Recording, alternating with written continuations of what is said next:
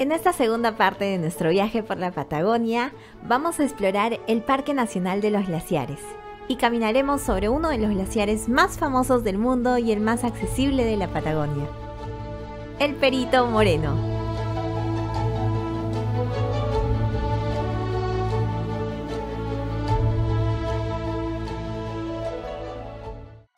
En el video anterior fuimos al Museo del Glaciar, donde aprendimos que el Perito Moreno es de los pocos glaciares que se encuentran en equilibrio. Quiere decir que lo que gana y pierde cada año es similar y no hay retrocesos considerables, a diferencia de otros glaciares de la región. Este glaciar lleva su nombre en honor al científico, explorador y geógrafo argentino Francisco Moreno, quien fue el perito experto que ayudó a establecer los límites fronterizos entre Chile y Argentina en el sector de la Patagonia.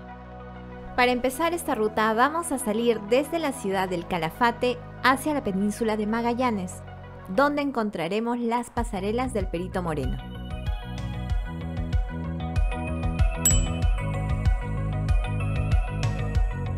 Y les cuento un poquito antes de llegar cómo es la ruta.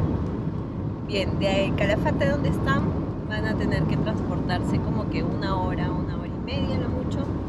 Es el Parque Nacional de, los Glaciares. Tienen que conseguir un transporte si es que en el tour no les ofrecen. Si es que les ofrecen en el tour que vayan a tomar, yo les recomiendo que lo tomen, ¿ok? Porque puede ser que sea un poquito más económico.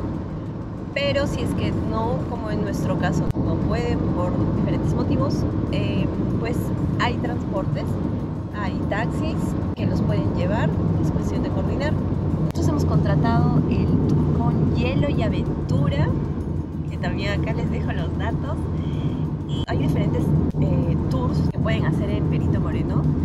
El más básico es que vayan por su cuenta y caminen por pasarelas, ese no necesitan ningún tour, la verdad. Lo otro es que vayan con un tour, hagan eso. Lo segundo es que vayan con navegación. Y lo tercero es que hagan mini trekking Ah, bueno, hay un cuarto también que es, eh, se llama el Big Ice. O lo llaman de diferentes maneras, pero es tener, sí, es, es, tener un, trekking mucho más largo de varias horas en el, en el hielo.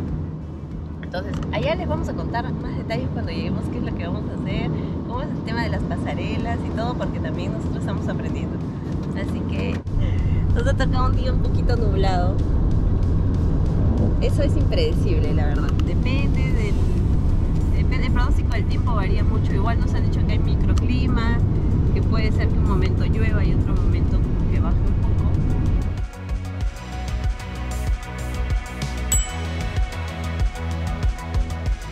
Las entradas para el Parque Nacional de los Glaciares pueden comprarlas online o en el mismo parque, en la puerta de ingreso. Y tienen la opción de que si van a venir dos días consecutivos al parque, el segundo día tienen 50% de descuento en el precio de la entrada. Aquí les dejo la referencia de la entrada en dólares. Para extranjeros es de 13 dólares y residentes nacionales de 4 dólares aproximadamente. ¡Ya! hemos llegado, hemos llegado. Pero recién vamos a ver, vamos a ver la primera cara de Perito Moreno. La primera cara de Perito Moreno. A ver cómo se ve. Como les contaba al inicio, el Perito Moreno es de los glaciares más accesibles del mundo. Es por ello que ni bien llegues ya tendrás una primera vista de este hermoso glaciar. Solo estando aquí, sientes esa energía que te transmiten estas enormes masas de hielo, las cuales fueron idénticas a las que dominaron parte del planeta durante la etapa de glaciación hace millones de años y fueron testigos del nacimiento de la humanidad. No saben lo que es. Ah.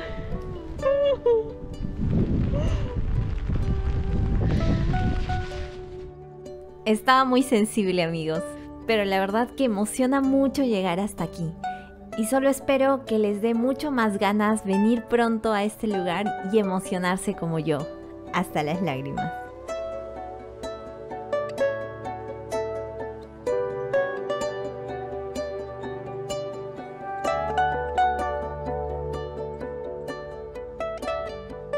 Van a encontrar un poco más de detalle de las rutas. Tenemos cuatro rutas. Es a la verde, la roja, la amarilla y la azul. La verde nos han dicho que es la que va como por el bosque, por la parte verdosa, entonces si ustedes tienen que priorizar yo diría que esa no vayan por ahí. La azul también va por otro lado, por el lado norte. Ahora es otra cara del perito moreno. Si tienen que priorizar dos rutas, es la que vamos a hacer nosotros, que es la roja más la amarilla. Vamos a ver en cuánto tiempo la hacemos. Aproximadamente creemos que nos vamos a demorar una hora. Bueno, nos ha tocado un día lluvioso. Ese es lo, lo bacán de este lugar. Que la verdad que no vas a saber a dos días o tres días antes recién de venir. Es una, un golpe de suerte. Lo bueno es que no hay mucha gente y vamos a poder tomar fotos. Y lo bueno también es que el perito moreno no se tiene, no, no, no, no está lejos, entonces se puede ver fácilmente. Este glaciar forma parte del circuito del Parque Nacional de los Glaciares, declarado Patrimonio Mundial por la UNESCO en 1981. Miren, estamos en el mirador amarillo, perdón, en el corredor amarillo y lo van a poder identificar porque acá tienen marcas. Entonces para que no se pierdan. Tienen marcas amarillas y no va a haber si es que quieren hacer como que cruces. Miren qué bonito, igual el paisaje es hermoso. Sí, lo loco es cómo puedes Mm. tener verde y a la vez blanco. Claro, la nieve, ¿no? Para nosotros es distinto, pues porque nuestros nevados están a la altura. En Perú es así. Sí. Pero acá estamos a 250 metros de altitud. Acá. Increíble. Están las guías.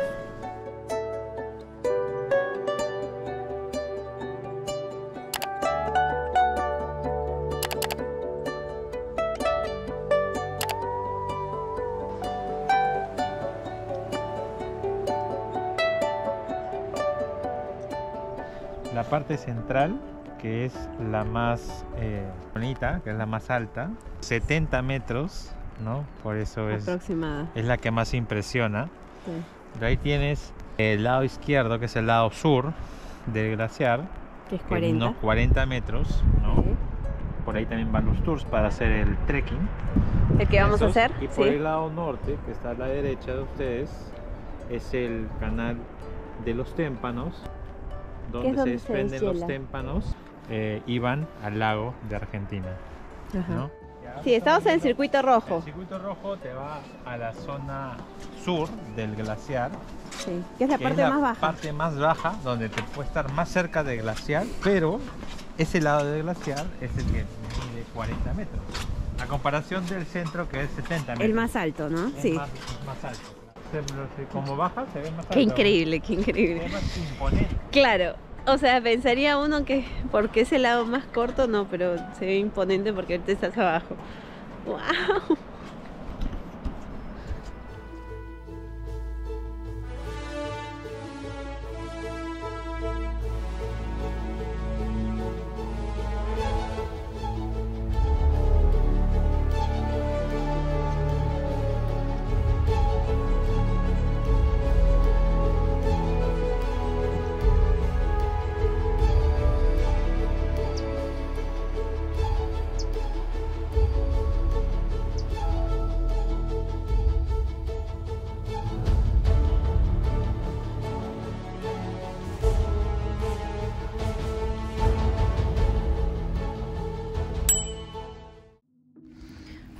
Bueno, viajeros, hemos llegado al muelle bajo las sombras y desde aquí embarcamos para hacer el mini trekking. Primero vamos a, navegar por aproximadamente 15-20 minutos y de ahí vamos a, a comenzar a hacer el trekking. Entonces, como les decía, ustedes pueden llegar con transporte propio. Nosotros hemos llegado desde las pasarelas de Benito Moreno y ahora nos estamos embarcando por acá. Está haciendo mucho frío, así que y va a ser frío porque vamos a navegar, así que ojalá soportemos. Si bien a fines de año la probabilidad de lluvia es mucho menor, puede tocarte un día como este, algo nublado y con pequeñas precipitaciones. Pero con fe, que yo sé que va a mejorar cuando estemos en el glaciar.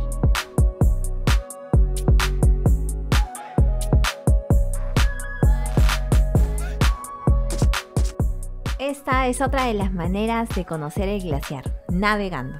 Así que nosotros, como parte de este tour, vamos a conocer la cara sur del glaciar Perito Moreno.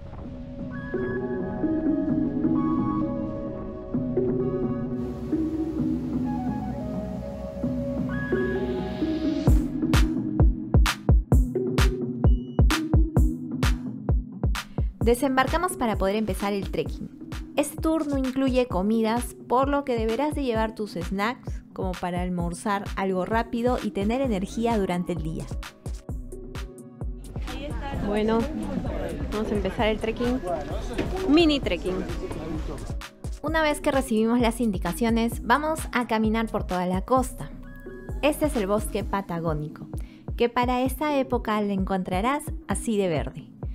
Durante la mayoría del recorrido irás acompañado de la vista del glaciar, como para no olvidar dónde estamos.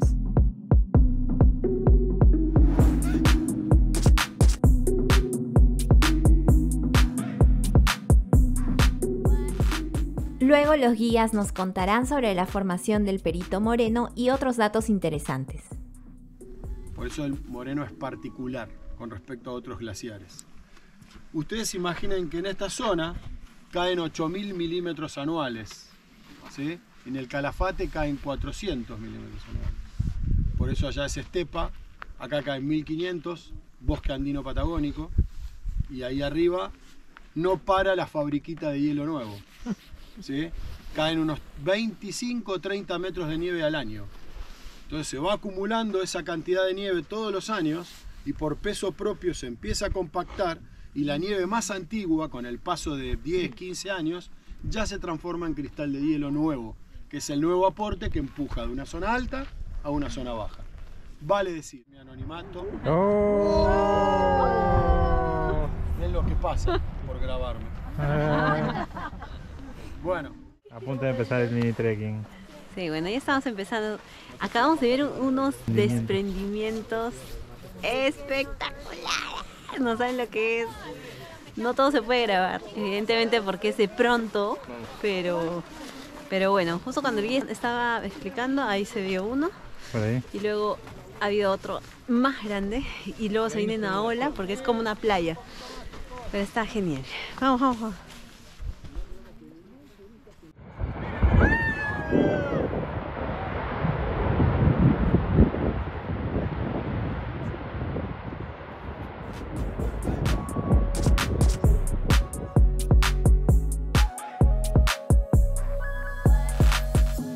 Ahora sí, con nuestros cascos y los grampones bien puestos en nuestras zapatillas, estamos más que listos. Será un poco más de una hora de trekking en el mismo glaciar.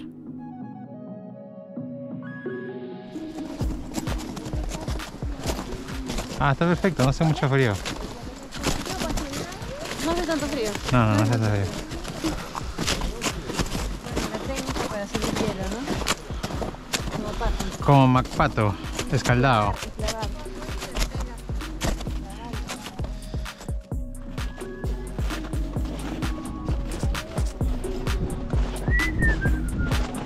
Vamos, hasta allá. Hay una escalera. La ruta la sentí bastante segura. En lugares más empinados o que podrían representar algún riesgo, tienes estas barandas de donde sujetarte y ayudarte a subir, por lo cual hace que este trekking sea accesible para la mayoría de personas.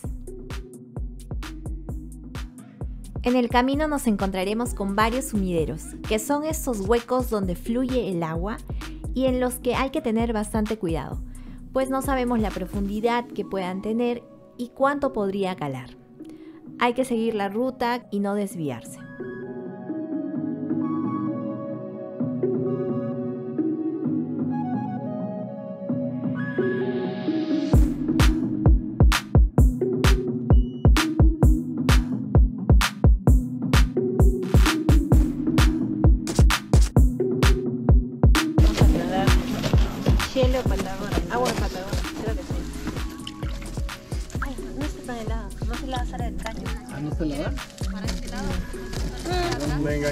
Está helada, pero...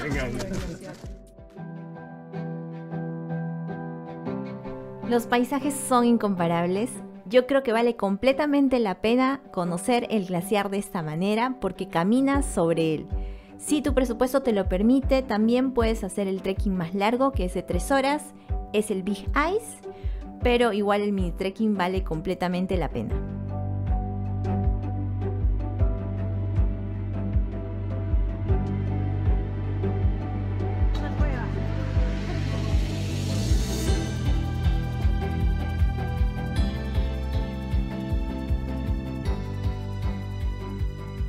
Salud. tomar un whisky con el acá de. Salud.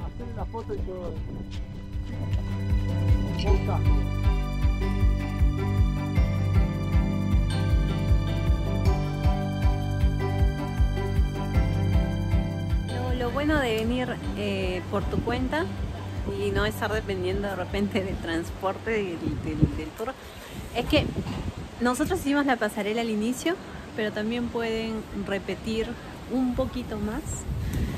Después, una hora más, media hora más, lo que cuenten, pueden repetir, poder disfrutar de esta maravilla finalmente y despedirse de una forma maravillosa.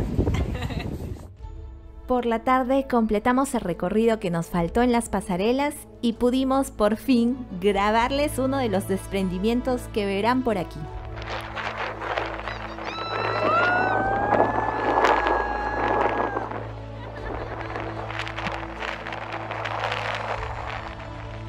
Gracias por llegar hasta aquí. No olvides dejar un like, comentar y suscribirte al canal. Nos vemos en el siguiente capítulo en la Patagonia Argentina.